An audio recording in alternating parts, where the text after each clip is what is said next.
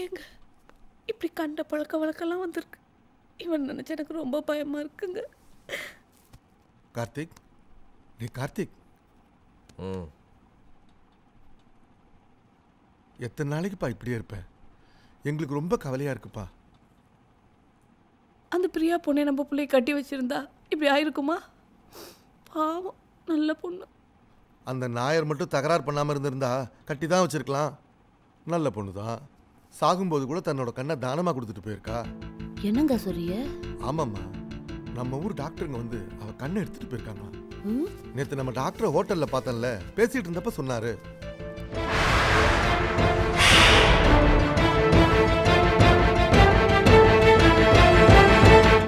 S அது பிரியாவோட கண்ணு தான் எனிதிங் ஹெல்ஸ் வேற என்ன தெரியணும் உங்களுக்கு? என் பிரியாவோட கண்ணை நான் பார்க்கணும்.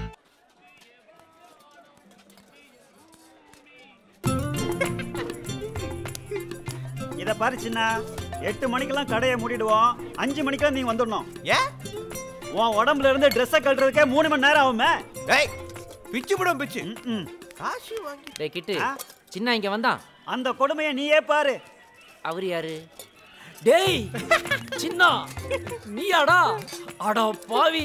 வசந்தன்கோ ஓனர் மாதிரி சூப்பரா கோட் சூட் போட்டு நிக்கிறியாடா. இந்த மாதிரி பொண்ணு பார்க்கும்போது வந்திருந்தீனா உனக்கு எப்போ மேரேஜ் ஆயிருக்குமேடா. டை தான் கொஞ்சம் சிறுசா போச்சு. சிறுசா இருந்தா தான்டா அது டை. நீளமா இருந்ததுன்னா அதுக்கு பேர் கோமணம் அது நீ கேட்டது?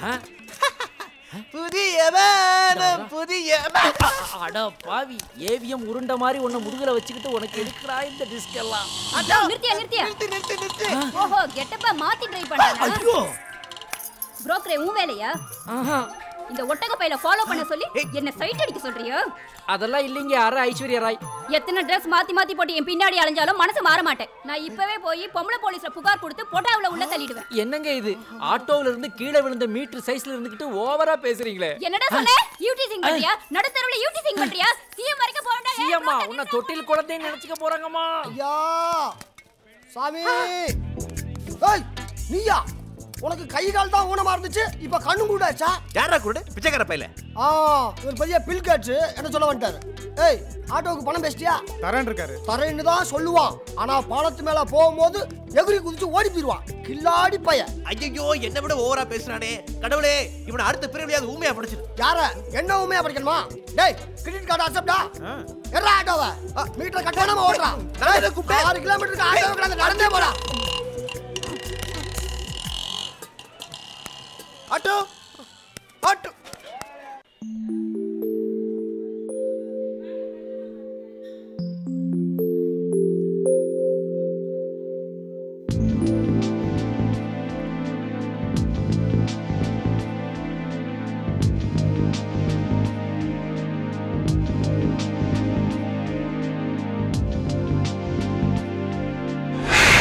மெதுவா கண்ணை தரங்க பார்க்கலாம் மெதுவா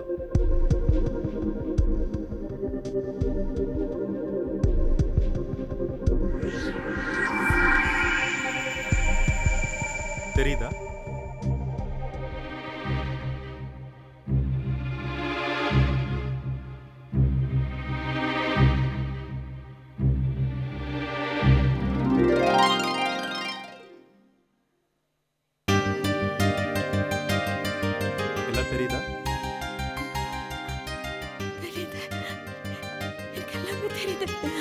மகமாயி என் குழந்தைக்கு பார்வை கொடுத்துட்டே தாயே நான் தான் பட்டமா நான் தான் பட்டமா.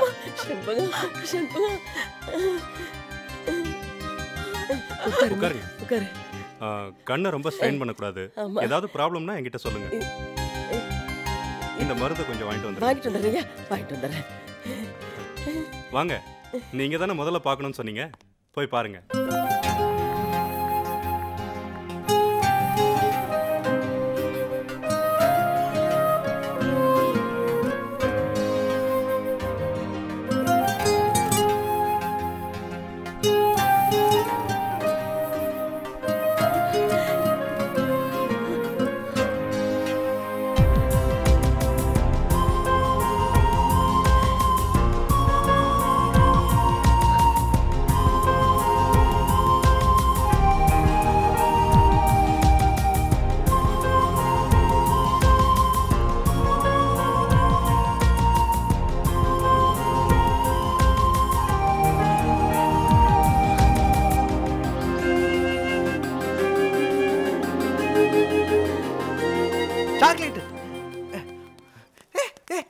தேங்க்யூ தேங்க்யூ செண்பத்துக்கு கண்ணு தெரிய போகுது. இந்த.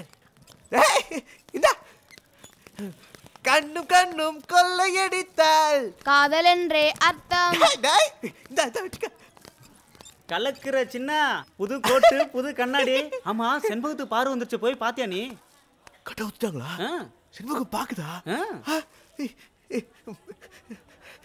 ஏய் சின்ன எதுக்கு? புடி.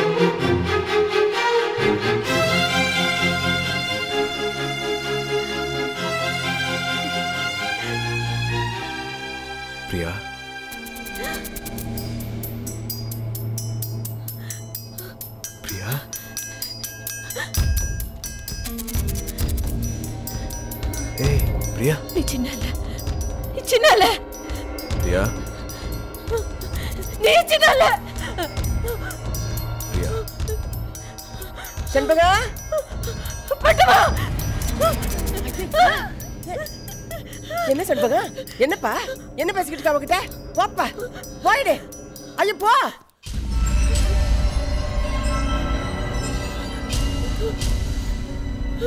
சின்ன ஐயா இவனை சின்னான்னு நினைச்சியா? இவன் சின்ன இல்ல. சின்ன இப்ப வந்துருவான். நீ ஒன்னும் பயப்படாத. ஒண்ணு இல்ல. ஒண்ணு இல்லம்மா. ஒண்ணு இல்ல. பயப்படாதம்மா பயப்படாது. நம்ம சின்ன இப்போ வந்துடுவான் ஒன்றும் பயப்படாது. பயப்படாது கண்ணு.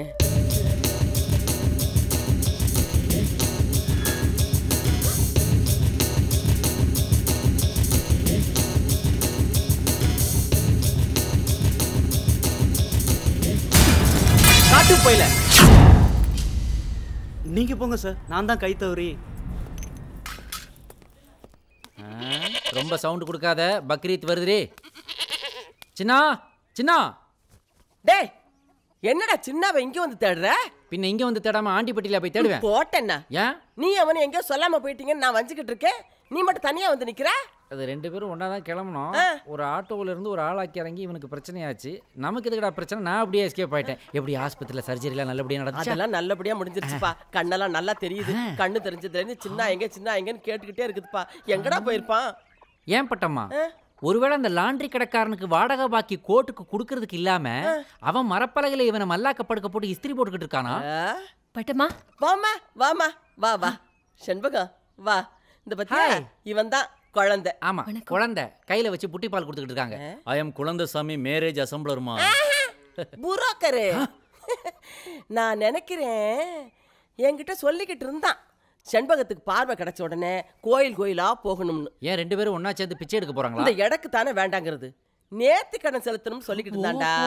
அதுக்கு தான் போயிருப்பான்னு நினைக்கிறேன். எப்பா எங்கேயாவது கோயில்ல தாண்டா இருப்பான். போய் கூட்டிட்டு வந்திருப்பா. சண்பகம் பார்க்கணும் பார்க்கணுங்குதுப்பா. நீ கவலைப்படாத பட்டமா சின்னாவோட ஒரே நாள்ல திரும்பி வர்றேன். இல்லைன்னா? ஒரு பத்து பதினஞ்சு நாள் டைம் எடுத்துக்கிறேன். அது என்ன பல்லியா? அங்க என்ன? எனக்கு செலவு இருக்குதுல்ல. பாத்தியா? சொன்னேன்ல வேலை பார்க்காம கமிஷன் அடிக்காம பாரு.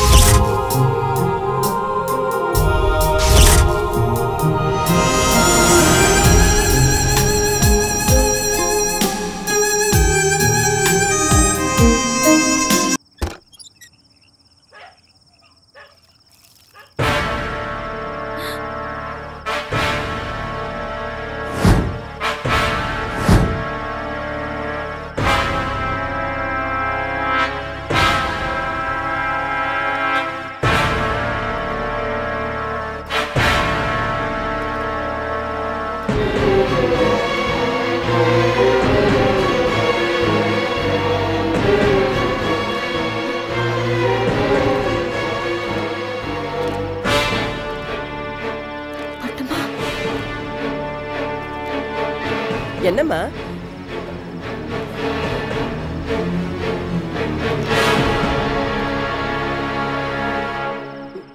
சண்முகம் என் தம்பி ராத்திரி நேரத்தில் இப்படி திடுதுப்புன்னு வந்து நின்னா இப்படி அந்த பொண்ணு பயப்படுதில்ல.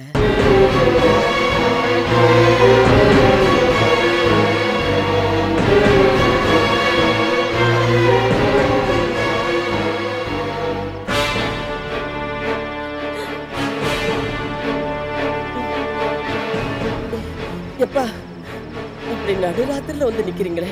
பாக்குறவங்க என்ன நினைப்பாங்க? எதா இருந்தாலும் விடிஞ்சதுக்கு அப்புறம் பேசிக்கலாம். போயிடுங்க ஐயா ஐயா போயிடுங்க ஐயா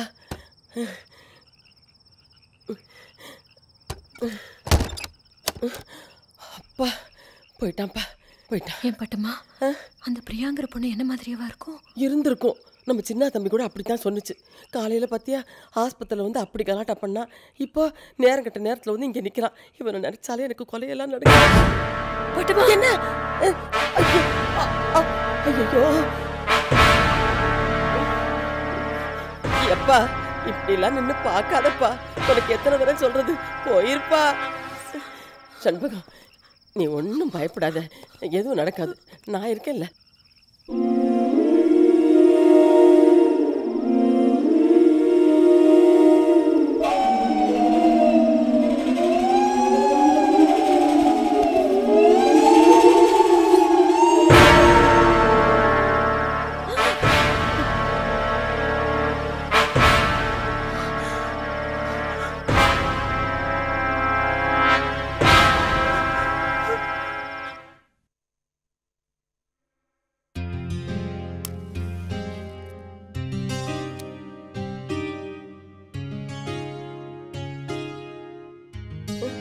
அப்பா இப்பதான் இந்த இடத்துக்கு ஒரு கலையே வந்திருக்கு. செம்பகம் இதே மாதிரி தினம் நீ இங்க வரணும். இந்த ஸ்தாபனத்தோட நிர்வாகத்தை எல்லாம் நீயே எடுத்து நடத்தணும்னு சின்ன எவ்வளவு ஆசைப்பட்டான் தெரியுமா? பட்டம்மா இது ஸ்தாபனமா? பெரிய டிவிஎஸ் கம்பெனி எண்ணூறு பேர் வேலை செய்துக்கிட்டு இருக்காங்க. டா இந்த பாடி எல்லாம் எதிர்த்த கடையில இருந்து டீன்னு சொல்லி சுடுதண்ணியை கொண்டாந்து ஊத்திவிட்டு ஓசியிலேயே ஒன்பது கால் பண்ணிட்டு போறாங்க. அப்புறம் எங்க இருந்து பிசினஸ் விளங்குறது? அதான் சின்ன ஊரை விட்டே ஓடி போயிட்டான் போல இருக்குது. எனக்கு கண்ணு வந்ததும் எல்லா கோயிலுக்கும் நடந்து வரதான் வேண்டியிருந்தாரு. அங்கதான் போயிருப்பாருன்னு பட்டமா சொல்லி ஆமாமா ஆமாம்மா. அங்கதான் போயிருக்கான். இவன் கடந்து வளர்றான்.